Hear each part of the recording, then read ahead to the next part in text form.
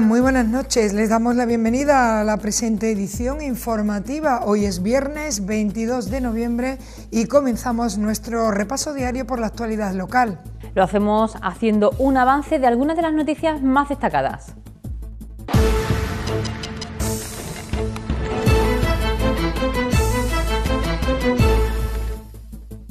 La Delegación de Igualdad del Ayuntamiento Palaciego conmemora el Día Internacional contra la Violencia de Género con un programa de actividades que se desarrollará a partir del 25 de noviembre. La comunidad educativa del Colegio Palenque celebra el Día de la Música con actividades diversas centradas en el bicentenario del nacimiento del célebre compositor italiano Giuseppe Verdi celebrado el primero de los cursos que se impartirán para el manejo de los desfibriladores instalados recientemente en varios espacios deportivos de la localidad. Y en deportes, la agrupación deportiva Mosqueo recibe al Pedrera, líder invicto de la preferente. Los Palacios Club de Fútbol al Puebla con numerosas bajas. Félix y Paco fichan por la Liara y podrán jugar ante el Calavera. El Maribáñez quiere reencontrarse con la victoria ante el Nueva Sevilla.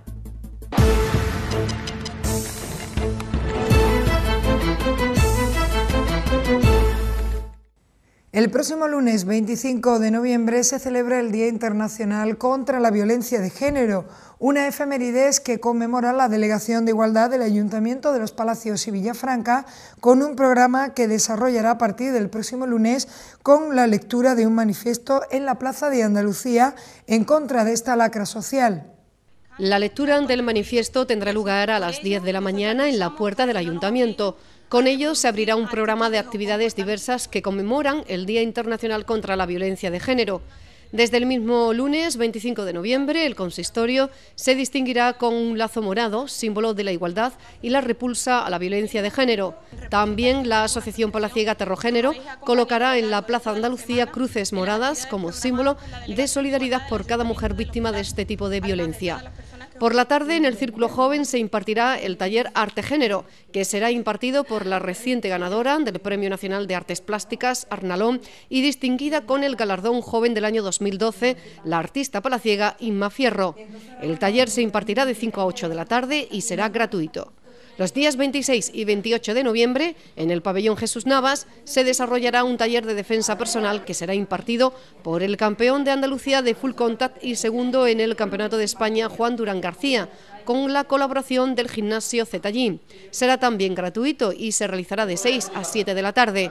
Cabe recordar que a lo largo del presente mes de noviembre, la Delegación Municipal de Igualdad está llevando a cabo una campaña contra la violencia de género en los adolescentes, dirigido a alumnos de cuarto de ESO de los diferentes institutos palaciegos. A esto se suma el concurso de cuentos infantiles por la igualdad que se desarrollará en el mes de diciembre y estará dirigido a los alumnos de sexto de primaria de los diferentes centros educativos. La comunidad educativa del Colegio El Palenque ha celebrado el Día de la Música con diversas actividades centradas en la figura de Verdi, el célebre compositor italiano de cuyo nacimiento se cumple ahora el bicentenario. El broche de la programación ha sido el concierto didáctico que han ofrecido esta mañana un grupo de profesores de este centro. Hoy viernes 22 de noviembre se celebra el Día de Santa Cecilia, patrona de la música, una efeméride que se ha conmemorado en el Colegio Palenque con diversas actividades en las que los alumnos han tenido la oportunidad de acercarse y conocer un poco más la vida y obra del más notable e influyente compositor de ópera italiana, Giuseppe Verdi, de cuyo nacimiento se cumple ahora el bicentenario. Los profesores han recordado que Verdi fue autor de algunos de los títulos más populares del repertorio lírico, como los que componen su trilogía popular o romántica Rigoletto la Traviata e il Trovatore y las obras maestras de la madurez como Aida, Don Carlo, Otelo y Falstaff. Al mismo tiempo, los alumnos han ido realizando actividades para conocer mejor los instrumentos musicales y a las familias a las que pertenecen. El broche a estas dos jornadas dedicadas a la música y al célebre compositor italiano han culminado esta mañana con un concierto didáctico que ha corrido a cargo de un grupo de profesores del centro, incluido el propio director. El concierto ha contado con guitarra, piano, tuba, clarinete y flauta.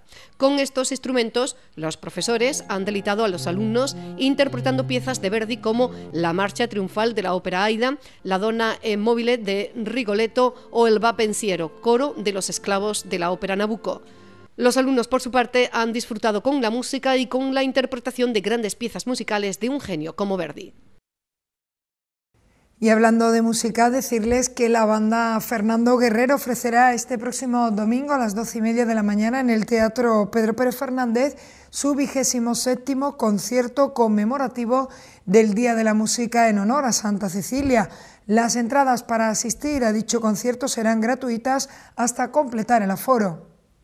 Esta mañana ha tenido lugar en la Casa de la Cultura la primera de las acciones formativas por las cuales los alumnos participantes van a obtener el certificado, la autorización con la cual podrán utilizar los desfibriladores que recientemente el Ayuntamiento de los Palacios y Villafranca ha instalado en varios espacios deportivos de nuestra localidad.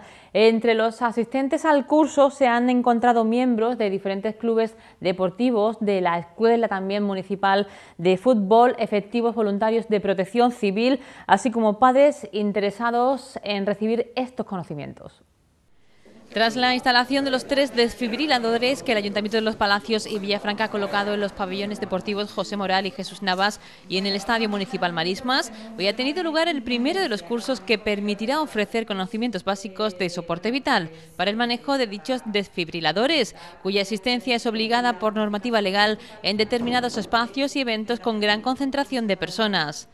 Los desfibriladores son aparatos de fácil manejo que pueden ser utilizados por personal no sanitario, pero sí es obligado que sean personas que hayan obtenido previamente la pertinente autorización a través de cursos formativos como el desarrollado esta mañana en la Casa de la Cultura. Bajo normativa, pues es necesario, es imprescindible que las personas que vayan a hacer uso del desfibrilador tengan una formación acreditada eh, y eh, impartida por también por un instructor y por una empresa que estén acreditadas para ello. Eso es obligatorio bajo normativa. El curso ha sido impartido por una profesional sanitaria perteneciente a la empresa encargada de instalar los desfibriladores y la formación ha consistido en conocimientos y conceptos básicos que han acercado a los participantes aquellas partes del cuerpo humano que se ven afectadas en una patología como es una parada cardiorrespiratoria cómo deben actuar y pasos que han de seguir para hacer una reanimación. Y como no, el manejo del desfibrilador que habrá de utilizar siendo su funcionamiento sencillo y seguro. Aporta una gran sencillez, aunque efectivamente hace falta unas, mínimas instrucciones, eh, pero es en darle a on y seguir un poco las instrucciones que te van diciendo y ya está. Por eso es tan sencillo el uso, sabiendo las instrucciones, pero un uso sencillo y seguro, sí.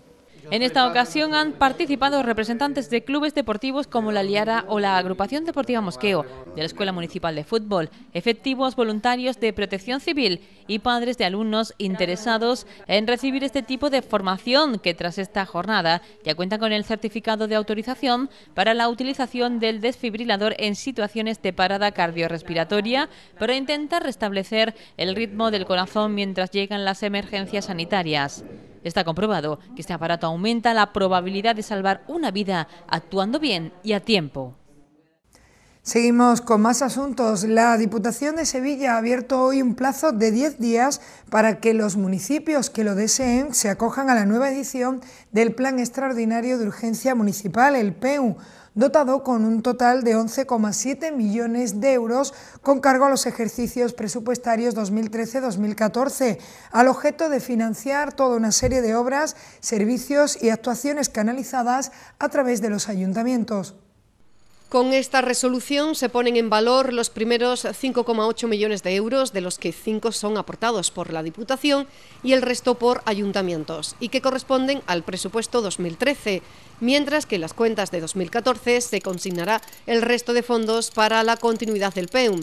Así, este plan, con un montante de 10 millones aportados por la Diputación y 1,7 por los ayuntamientos, se traducirá en contrataciones municipales de entre 15 y 3 meses de duración, merced a salarios mensuales de entre 750 y 760 euros, con efecto sobre unas 5.000 personas. Las previsiones pasan por poner en marcha el plan a principios de diciembre, una vez finalizados todos los trámites administrativos, con estos 5 millones de euros ya incluidos en el presupuesto de 2013, toda vez que cada una de las aplicaciones presupuestarias de 2013 y 2014 contará con sendos plazos de ejecución de seis meses de duración. Como novedad, los ayuntamientos podrán sufragar con cargo a este programa pequeñas obras que puedan mejorar la accesibilidad de las personas dependientes, como la eliminación de barreras arquitectónicas en la vía pública y dependencias municipales, el adecentamiento y mantenimiento de edificios públicos y la mejora del acceso a espacios públicos como parques y jardines. La Asociación de Empresarios de los Palacios, Alacipa, pondrá en marcha la próxima semana una nueva edición del Rally de Compras, una cita que cumple ya así seis años en la que van a participar un total de 17 establecimientos de nuestra localidad. El objetivo es fomentar el consumo en comercios palaciegos, sobre todo en las fechas próximas a la Navidad y premiar la fidelidad de los clientes. El sexto rally de compras de los Palacios y Villafranca se desarrollará del 28 de noviembre al 13 de enero, siendo este último día el elegido por Alacipa para celebrar el sorteo del premio entre todos los clientes participantes. La dinámica del rally es la misma que se ha venido desarrollando en ediciones anteriores, es decir, los clientes que hagan compras en los 17 establecimientos que participan en esta edición recibirán un cupón que deberán rellenar con sus datos personales. A través de este cupón entrarán en el sorteo de 1.800 euros, un sorteo que por cierto ya tiene fecha. Será el 15 de enero, día en el que el ganador o ganadora deberá gastar los 1.800 euros realizando compras en todos los comercios adheridos al rally. Los establecimientos participantes en esta sexta edición son los siguientes: Deporte Zoom, Librería Papelería Blanco, Joyería Fernando Amador, Muebles y Decoración Comercial Rafael Campos Todomestic, Bazar Los Palacios, Joyería Parejo, Profesional, Blanca Moda Infantil, Galería Santiago, Manolo Ruiz, Las Nieves Supermercado, Deportes Play Sport, Papelería Olinka, Restaurante Manolo Mayo, Supermercado Alaxa de Álvaro Gavira, Bubel y Librería Infocolor. Cabe recordar que el objetivo del rally de compras es fomentar el consumo en establecimientos y comercios de nuestra localidad, sobre todo en estas fechas navideñas. Al mismo tiempo, se pretende premiar la fidelidad de los clientes que tan solo por consumir o realizar alguna compra en los establecimientos antecitados podrán optar a un magnífico premio.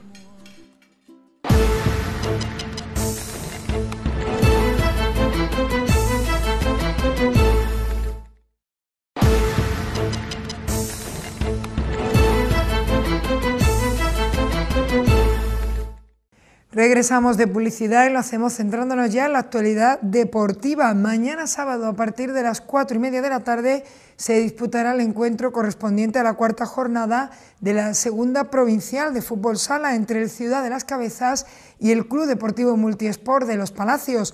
El equipo palaciego será el líder si consigue la victoria.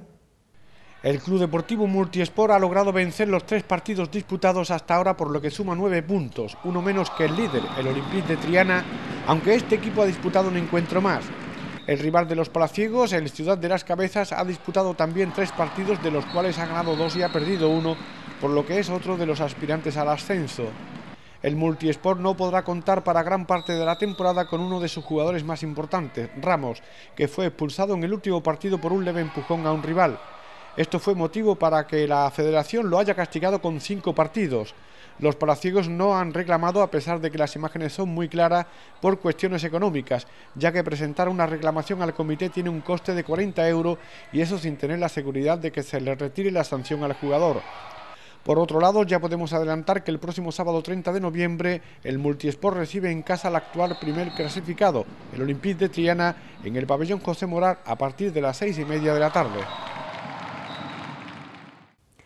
La jornada, por su parte, la jornada de fútbol se presenta muy complicada para los equipos palaciegos que van a pelear ante rivales bien clasificados. La agrupación deportiva Mosqueo recibe al líder del grupo, el Pedrera, que aún no conoce la derrota. Los Palacios, de nuevo con numerosas bajas, jugará en Puebla del Río. La Liara ficha a Félix y Paco, que podrán debutar en Sevilla ante el Calavera. El Mar Ibáñez recibe en su campo al Nueva Sevilla. Muy bien lo tendrá que hacer la agrupación deportiva Mosqueo este domingo para llevarse los tres puntos. Los palaciegos reciben en el Marismas a partir de las 12 y cuarto de la mañana al Pedrera Club de Fútbol, que es el líder de la preferente y aún no conoce la derrota. Manolo Corona tiene las bajas de Pipa, que lo han sancionado con un partido, y Galleto, que continúa lesionado. Aparte hay tres jugadores con problemas físicos por leves lesiones que son Francis, Jairo y Cuca. Son altas Boti y Moro. El Mosqueo es quinto con 23 puntos, mientras el Pedrera lidera la clasificación con 26. Los Palacios Club de Fútbol jugará a las once y media de la mañana en Puebla del Río ante el Puebla Club de Fútbol. Nuevamente los palaciegos presentan un preocupante parte de bajas. Por sanción no estarán Cabeza y Diego Miraut. Por lesión son bajas Laine, Miguel Ángel, Chico y Piño. Sin embargo, lo que más preocupa es la posible baja de Juanito por unas dolencias en la espalda que le han impedido entrenar esta semana, por lo que tiene pocas posibilidades de jugar. Vuelven Curro y Mario. El Puebla es octavo con 18 puntos, 11 más que los palaciegos. La Liera Balompié jugará en Sevilla a las 12 de la mañana. Será frente al histórico Calavera. Los sevillanos son quintos con 17 puntos y están a solo 3 del líder. Los palaciegos tendrán las altas de Félix, que con 32 años vuelve a calzarse las botas tras varias temporadas inactivo, y Paco es jugador de los Palacios y Mosqueo. Sergio Moguer no podrá contar con tres importantes jugadores que son Bravo y Campos por lesión y Justino que cumple el último partido de sanción. El Atlético Maribáñez jugará este domingo a las doce y media en su terreno ante el Nueva Sevilla. Los palaciegos están en una mala racha que les ha llevado a perder varios partidos consecutivos. Su rival cuenta con 11 puntos, cuatro más que los palaciegos, por lo que se presenta una buena ocasión para volver a ganar.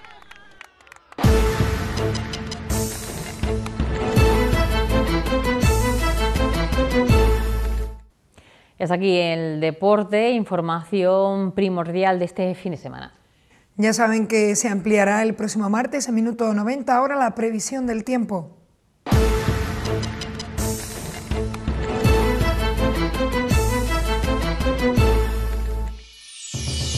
Para mañana sábado tendremos intervalos nubosos y temperaturas sin cambios significativos, máximas de 16 grados y mínimas de 7. Los vientos serán de componente norte flojos a moderados. El domingo amanecerá con cielos parcialmente nubosos con tendencia a despejarse conforme avance la jornada. Temperaturas en leve descenso. El lunes tendremos cielos totalmente despejados y temperaturas sin cambios, máximas de 16 y mínimas de 6 grados.